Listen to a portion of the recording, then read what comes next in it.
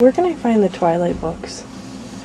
Um, you'll have to put them on hold because there haven't been any on the shelves since they came out. Have you read Twilight?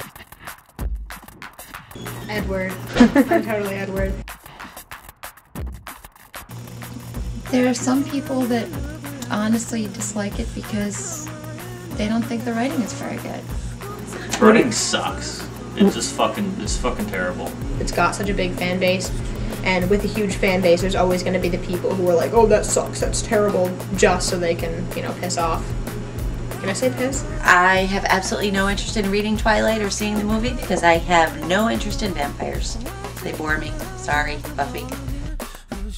found Bella in many ways She's kind of dumb. clingy.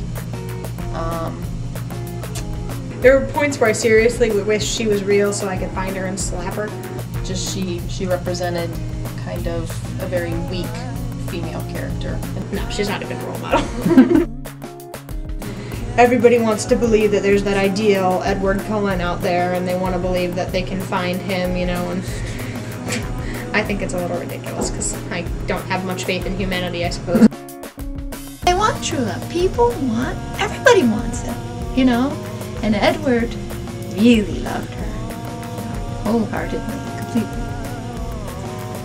He, you know, put her first before himself.